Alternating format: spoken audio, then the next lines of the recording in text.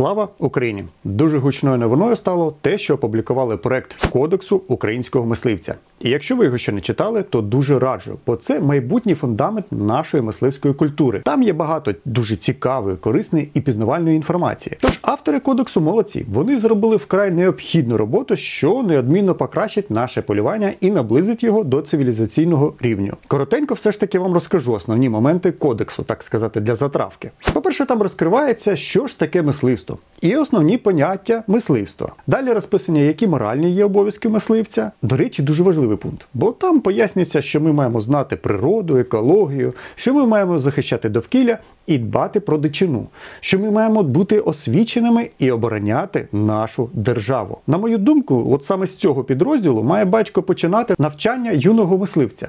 Наступними розділами вони розкривають всі аспекти етики і культури мисливця. Дуже багато традицій, обрядів, правил різних вони там розписали, що описують всі події, і моменти в нашому мисливському житті. До речі, в нас тепер буде навіть мисливський гімн, марш і однострій. Під мисливським однострієм мають на увазі парадний одяг, що вдягають на урочисті події. А не одяг, в котрому ми маємо полювати. Навіть нарешті з'явиться єдиний день українського мисливця.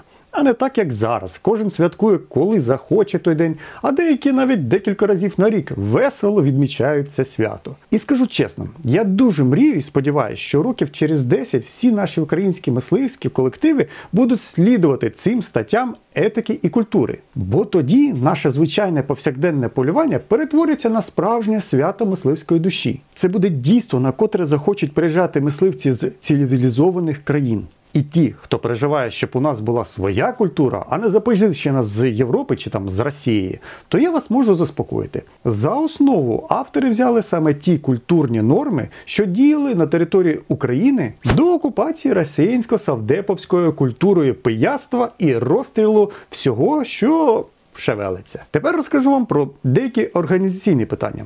Планується, що кодекс набирає чинності з 1 липня 2024 року. Як же цей кодекс буде, так сказати, вводитись в маси? А дуже просто: всі бажаючі колективи мисливців, громадські організації і інші там от можливі організації можуть приймати цей кодекс в якості одного з керівних документів своєї діяльності. Тому ми можемо бути впевнені, що УТМР і інші поважні організації приймуть цей кодекс, бо і так більшість цих організацій дотичні до його написання. Тому в маси він точно гарно вліється, цей кодекс. І дуже важливий момент: його, оцей кодекс, можна буде міняти. Першу зміну запланували до 7 червня 2025 року. Це, якщо звісно, будуть від організацій і мисливців побажання взагалі щось міняти. Може він сподобається всім. Але ну чесно, я от його прочитав і все ж думаю, що будуть побажання до змін, але це вже буде трошки пізніше. От надалі, після 25-го року, планується переглядати цей кодекс раз на 5 років. І щоб ви розуміли, в кодексі навіть описали, як має відбуватися контроль за дотриманням правил цього кодексу. Хто має контролювати, і навіть розписані покарання покарання за невиконання. Технічно там все більш-менш е, демократично. Тобто, якщо от ви в УТМР, то ця організація і буде дивитися, щоб ви виконували кодекс. І вирішувати, що з вами робити, якщо ви його порушуєте. Все дуже просто. Ну що ж, це я вам в загальних рисах описав кодекс. Звісно, краще візьміть і прочитайте його самі. Це дійсно буде корисно для вас. Від себе я хочу подякувати всім авторам і організаціям, що займалися цим кодексом. Це дуже великий і необхідний труд. Ну і ще хочу додати, що от всі, хто буде казати, що от зараз війна і все не на часі, то ви не праві. Е, ми маємо розуміти, що війна у нас не на тиждень, не на два і не на три, і так само не на місяці.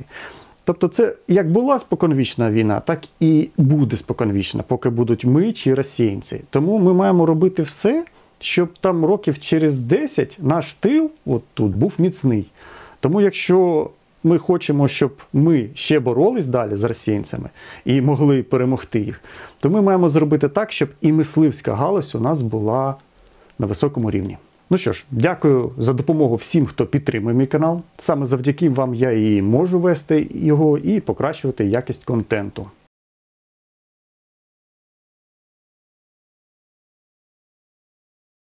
Ну і наостанок, як завжди, борімося і поборемо.